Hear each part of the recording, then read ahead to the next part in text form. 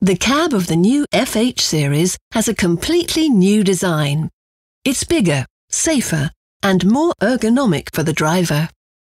I would like to describe the new Volvo FH cab as a completely new standard in the truck industry.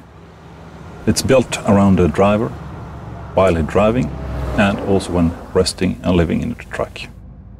It's outstanding.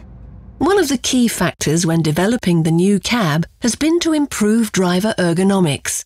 The result is a more comfortable seat, which can be taken back an extra 4 centimetres.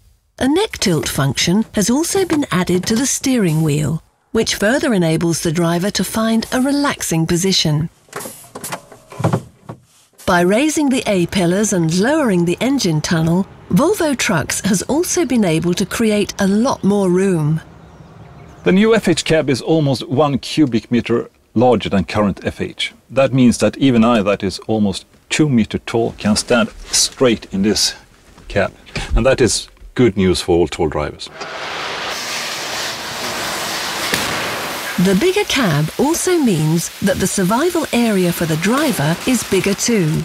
Other safety improvements include an escape hatch, which can be used if the cab doors are blocked. The hatch also works as a sunroof, allowing more light in the cab. The instrument panel has a completely new design, which improves both ergonomics and safety for the driver. Since buttons and controls are now always close to their fingertips, the idea behind the design of the new dashboard is, of course, that we should have everything easy access from the driver while driving, so he doesn't need to take his eyes off the road. Naturally, the colours and the materials in the cab have been carefully chosen to harmonise with the overall sense of Volvo quality.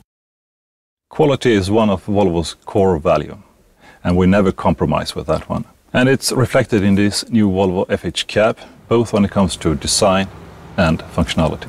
I think the drivers will love it in the future.